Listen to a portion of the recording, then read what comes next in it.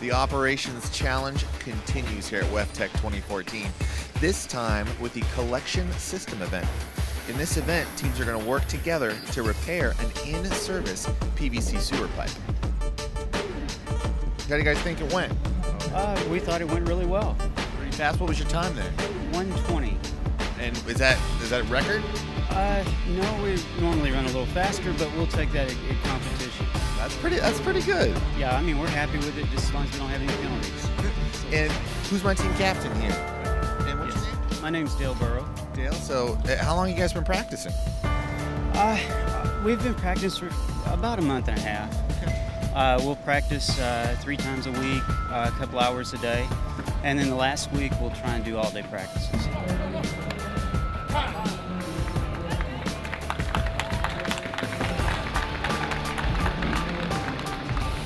Wrapping up another operations challenge for the year. This is WEFTEC 2014.